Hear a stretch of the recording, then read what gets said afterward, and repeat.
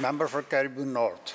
Thank you very much, Mr. Speaker. I'm excited today to rise in the House to bring attention to the incredible volunteer fire departments across British Columbia. Cariboo North constituents are fortunate to have these incredible volunteers in our communities. They are there for us when we need them, often at our most difficult time. Volunteer fire departments in rural areas supply so much in the way of service, including public information and education, disaster response and emergency operations, in addition to firefighting, wildland protection, first responder, and traffic control to otherwise unprotected areas. Many of these departments in small, unincorporated areas raise revenues through bottle drives, garage sales, and grants.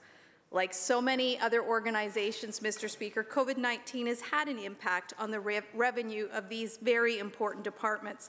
And they depend on um, support to pay insurance, purchase equipment for training, and ensure that all their members are trained according to the requirements of BC Wildlife Wildfire Service and to the training standards and protocols established also by the BC Emergency Health Services.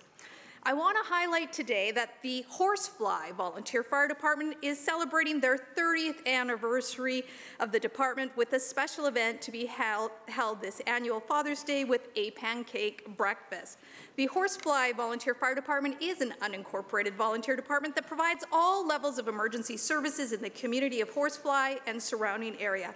They provide fire protection, assist BC Ambulance on medical calls, wildland fire protection, vehicle incidents, rescue calls, whether it be on the river, ice, lake, or in the mountains. And they also provide public education about fire smarting and safe living. They have done so much, Mr. Speaker. Check out their Facebook page to help them celebrate their 30th anniversary. I know each of the volunteer fire departments spend much time uh, in all of their communities. Let us all say thank you to all of the incredible volunteers in fire departments across British Columbia.